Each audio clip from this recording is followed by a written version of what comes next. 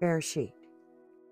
Genesis chapter 28, verse 10. And Jacob went out from Beersheba and went toward Haran. And he came upon a place and stopped over for the night, for the sun was down. And he took one of the stones of that place and put it at his head, and he lay down in that place to sleep. And he dreamed and saw a ladder standing on the earth, and its top reached to the Shamayim, and saw messengers of Elohim going up and coming down on it. And see, Yahweh stood above it and said, I am Yahweh, Elohim of Abraham your father, and the Elohim of Yitzchak.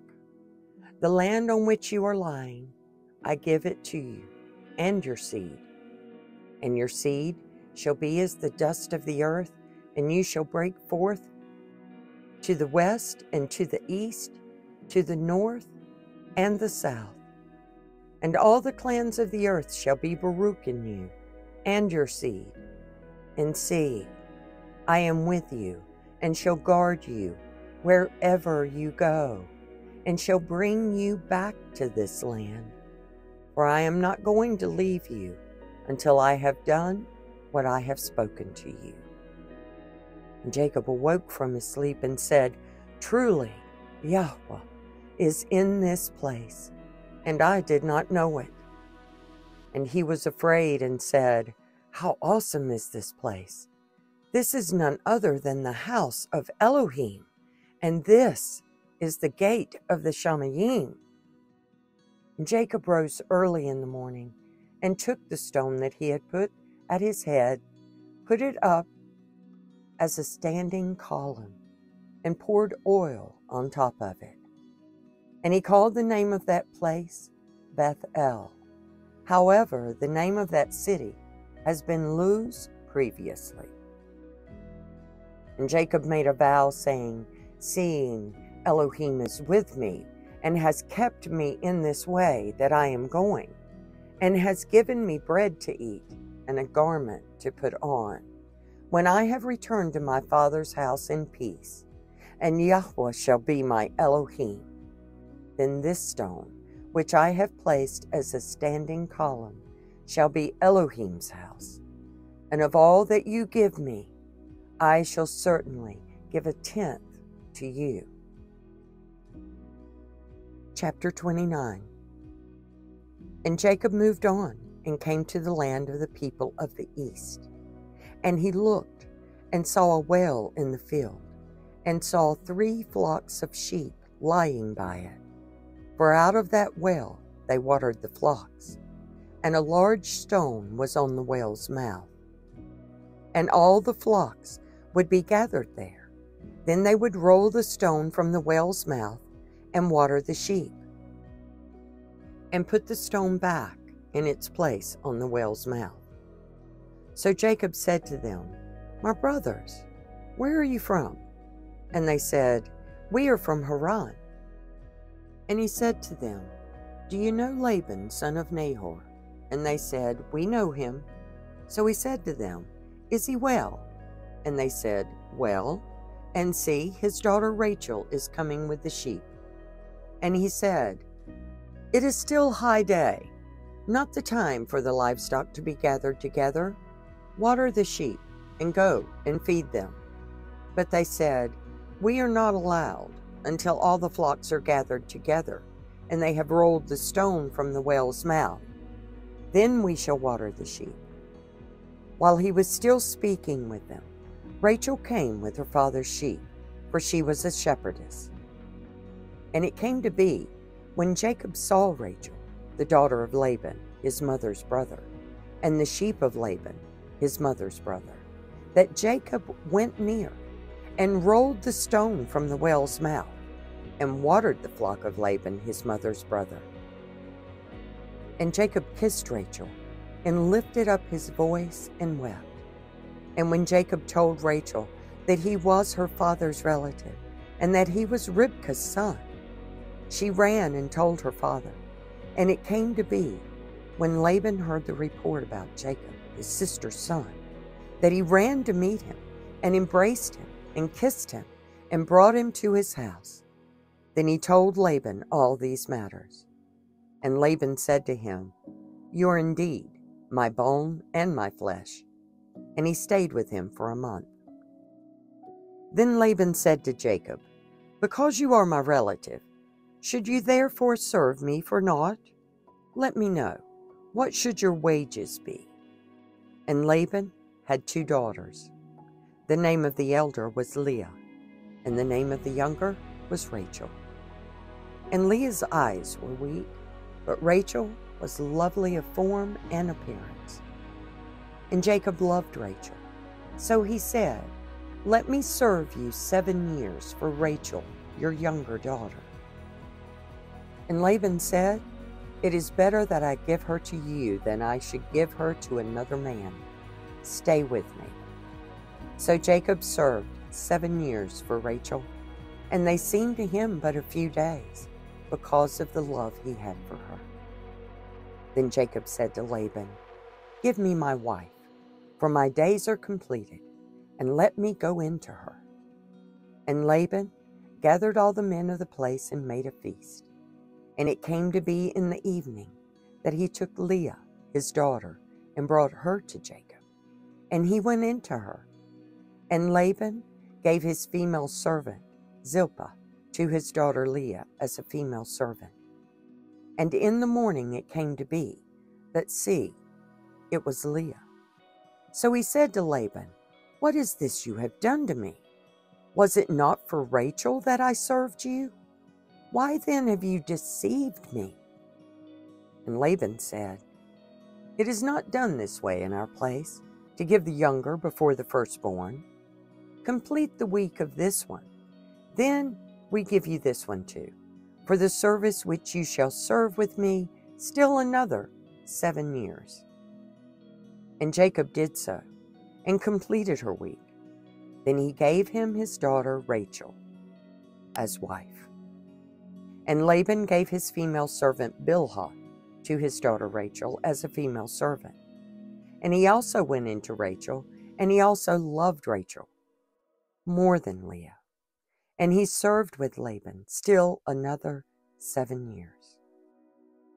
And Yahweh saw that Leah was unloved, and he opened her womb. But Rachel was barren. And Leah conceived and bore a son, and she called his name Reuben. For she said, For Yahweh has looked on my affliction, because now my husband is going to love me. And she conceived again and bore a son, and said, Because Yahweh has heard that I am unloved, he gave me this son too. And she called his name Shimon.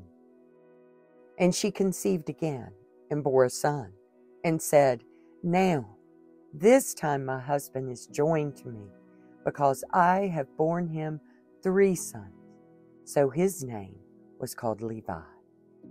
And she conceived again and bore a son. Now I praise Yahweh. So she called his name Yehudah, and she ceased bearing. Chapter 30 And when Rachel saw that she bore Jacob no children, Rachel envied her sister and said to Jacob, Give me children, or else I am going to die. And Jacob's displeasure burned against Rachel, and he said, Am I in place of Elohim, who has withheld from you the fruit of the womb? And she said, See, my female servant, Bilhah, go into her, and let her bear over my knees, and let me be built up from her as well. So she gave him Bilhah, her female servant, as his wife. And Jacob went into her. And Bilhah conceived and bore Jacob a son. And Rachel said, Elohim has rightly ruled my case, and has also heard my voice, and given me a son. So she called his name Dan. And Rachel's female servant Bilhah conceived again, and bore Jacob a second son. And Rachel said, With great wrestlings I have wrestled with my sister, and I have overcome. So she called his name Naphtali. And Leah saw that she had ceased bearing, and she took Zilpah, her female servant, and gave her to Jacob as wife. And Leah's female servant, Zilpah, bore Jacob son. And Leah said, What luck! So she called his name Gad. And Leah's female servant, Bilhah, bore Jacob a second son. And Leah said, I am Baruch, for the daughters shall call me Baruch. So she called his name Asher. And Reuben went in the days of wheat harvest, and found love apples in the field, and brought them to his mother Leah. And Rachel said to Leah, Please give me some of your son's love apples. But she said to her, Is it a small matter that you have taken away my husband? Would you take away my son's love apples too? And Rachel said, Therefore, let him lie with you tonight for your son's love apples.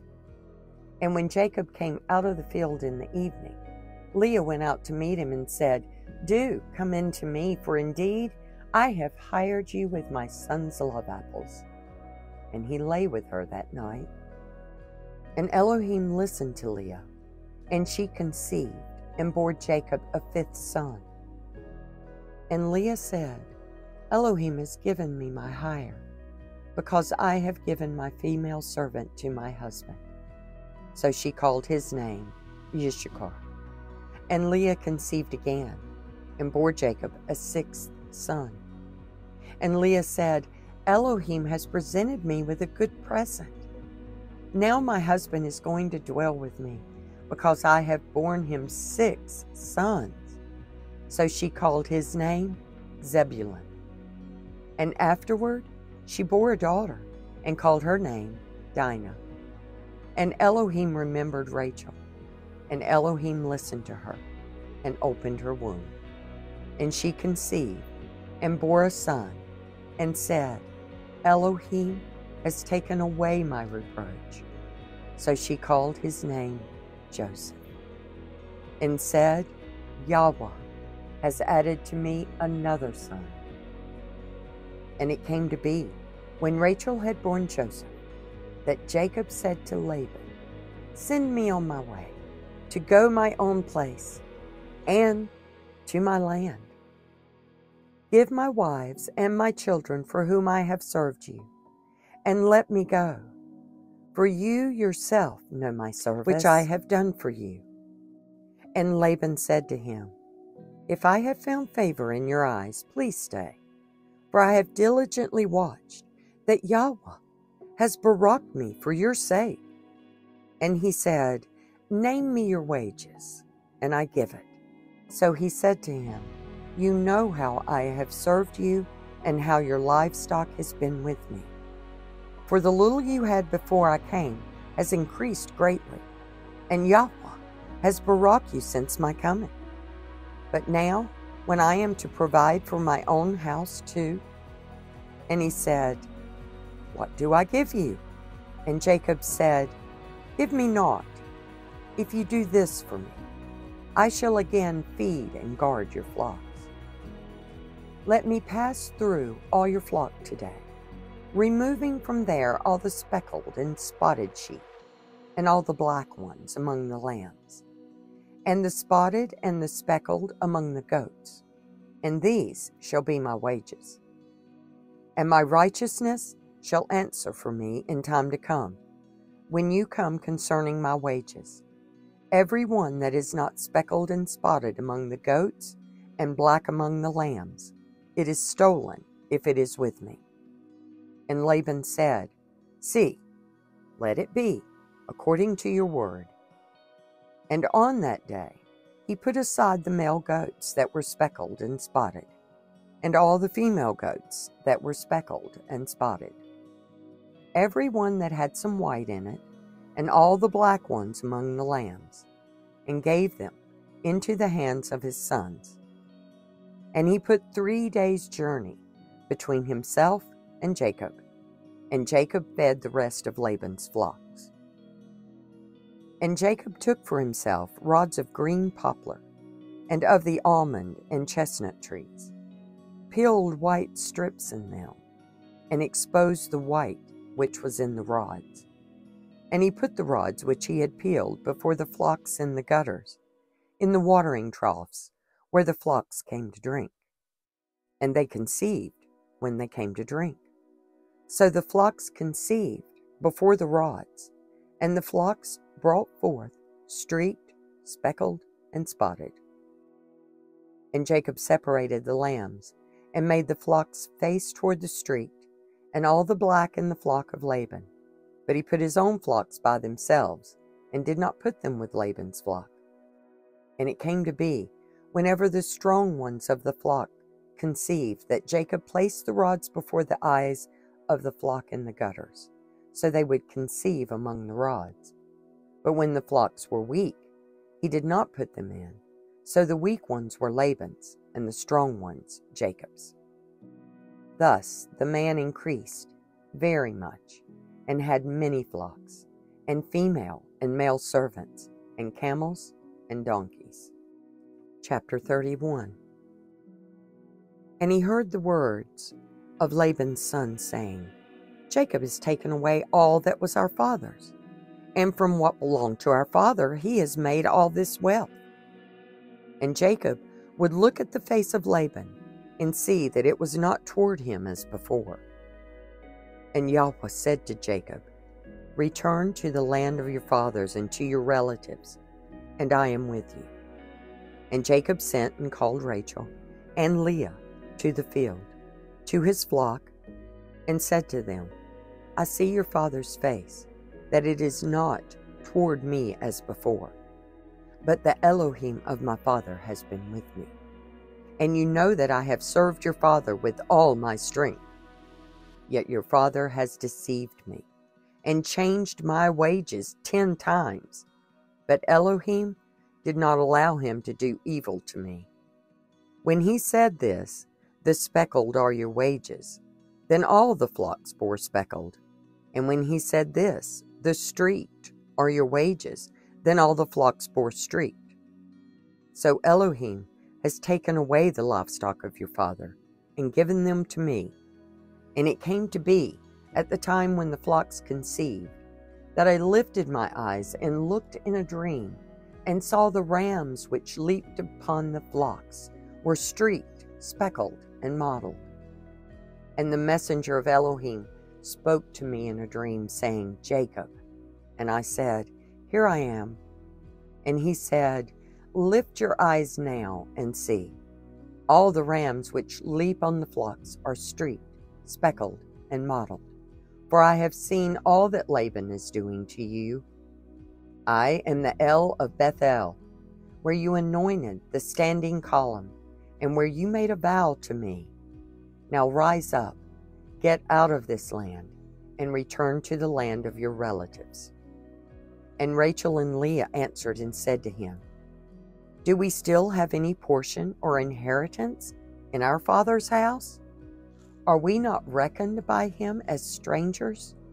For he has sold us, and also entirely consumed our silver.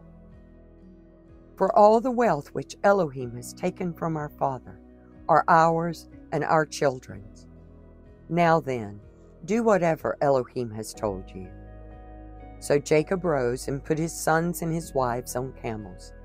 And he drove off all his livestock and all his possessions which he had acquired, his property of the livestock which he had acquired in Padan Aram, to go to his father, Yitzchak, in the land of Canaan. And when Laban had gone to shear his sheep, Rachel stole the house idols that were her father's. And Jacob stole the heart of Laban the Aramean, because he did not inform him that he was about to flee.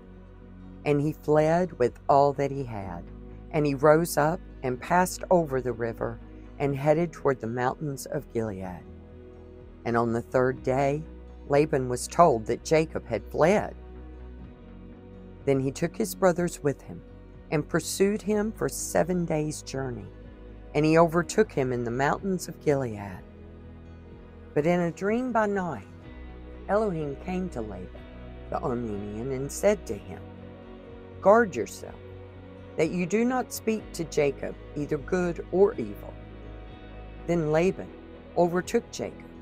Now Jacob had pitched his tent in the mountains, and Laban with his brothers pitched in the mountains of Gilead. And Laban said to Jacob, What have you done, that you have stolen my heart, and driven my daughters off like captives taken with the sword? Why did you flee secretly and deceive me, and not inform me? I would have sent you away with joy and songs, with tambourine and lyre. And you did not allow me to kiss my sons and my daughters. Now, have you been foolish to do this? It is in the power of my hand to do evil to you. But the Elohim of your father spoke to me last night, saying, Guard yourself, that you do not speak to Jacob either good or evil. And now you have gone, because you greatly long for your father's house. But why did you steal my mighty ones? And Jacob answered and said to Laban, Because I was afraid, for I said, Lest you tear your daughters from me. With whomever you find your mighty ones, let him not live in the presence of your brothers. See for yourself what is with me, and take it with you. For Jacob did not know that Rachel had stolen me.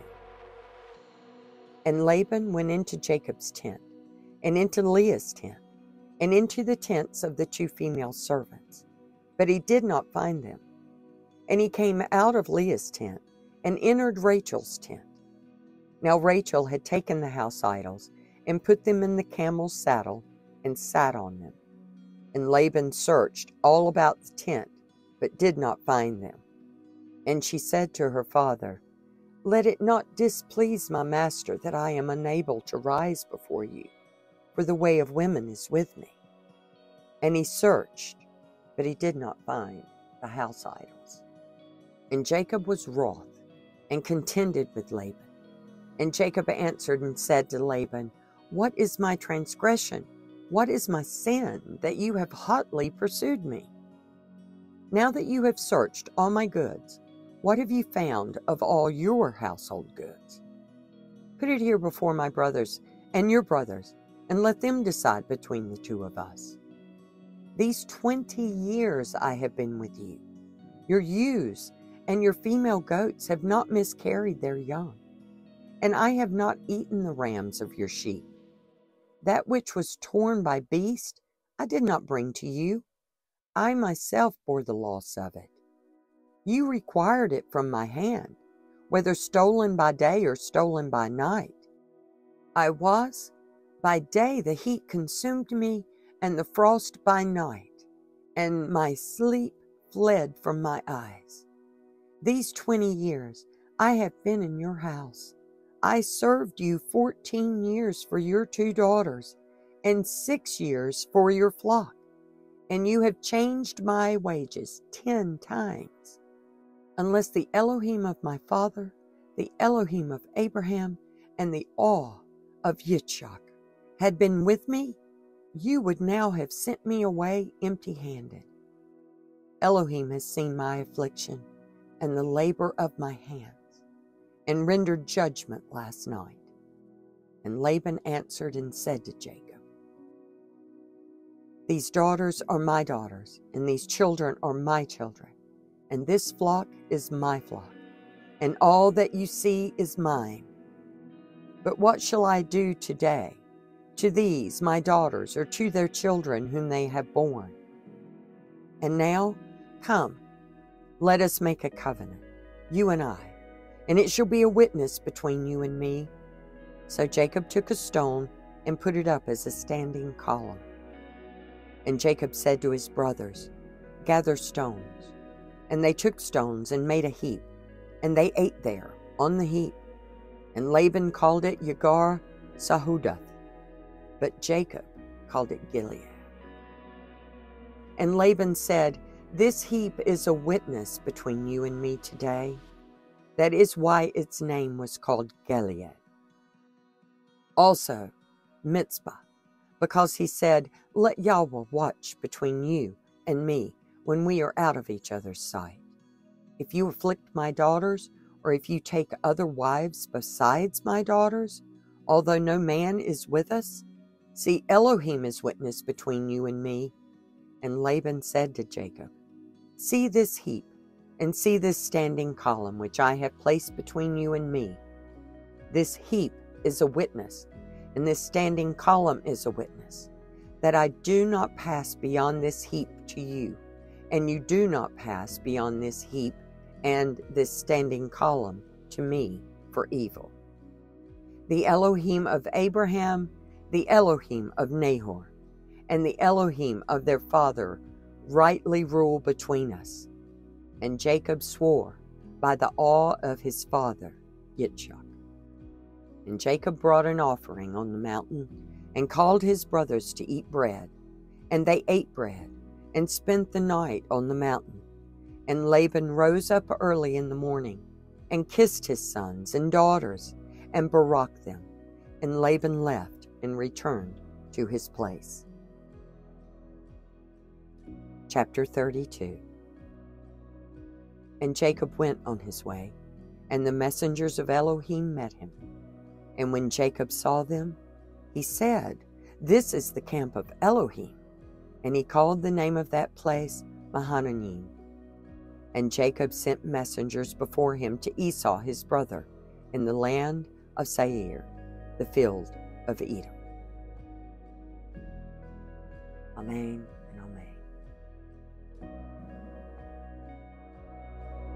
是吧？是。